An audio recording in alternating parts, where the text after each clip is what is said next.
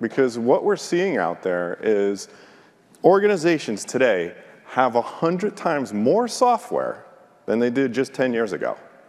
So what's going on is we've got CIOs, CTOs, chief enterprise architects, basically software leaders that are dealing with these growing, sprawling portfolios of custom software. They're getting overly complex. It's getting quite overwhelming. And it's making it almost impossible to answer some fundamental questions about software. Today, we're going to walk you through how you can use something called software intelligence to help you answer those questions. And that's the business that Cast is in, as, as Eddie just mentioned. We're a software company.